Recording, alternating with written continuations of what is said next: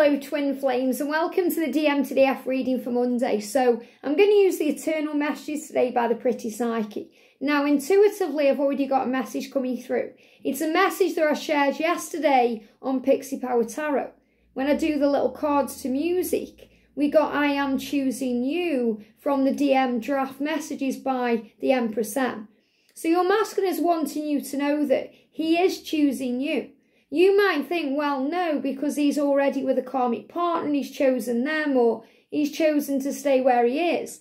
But he hasn't yet chosen himself. When the masculines choose themselves, divine feminine, they will always choose you. Why? Because you are one. You are part of them. You live in them. So of course they're going to choose you because when they choose to follow the heart and move towards their dreams, that's part of you.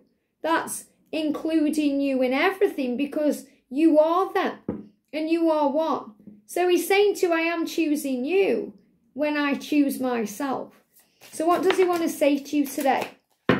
What does he want to say? So the card's already jumped out. I feel that's the main message and these are clarifiers. So he's saying to you, I've thought about taking a trip with you.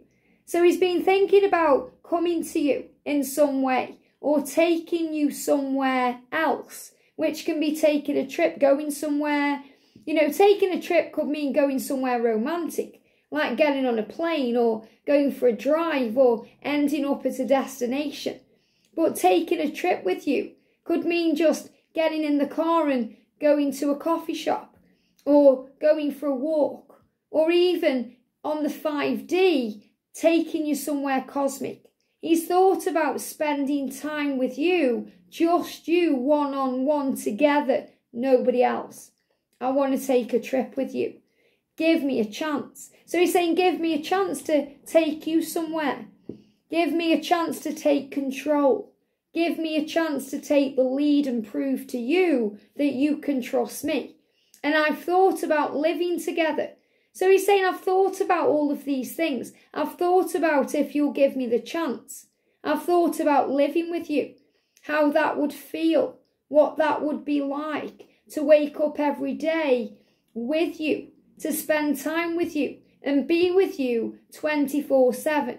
And that doesn't mean you'd be living in each other's pockets. It means you'd be with each other in a normal relationship, doing what normal people do.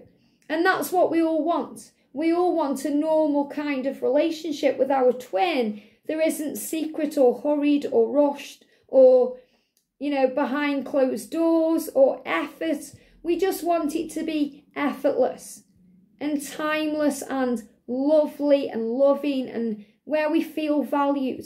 And that's exactly what we get in union.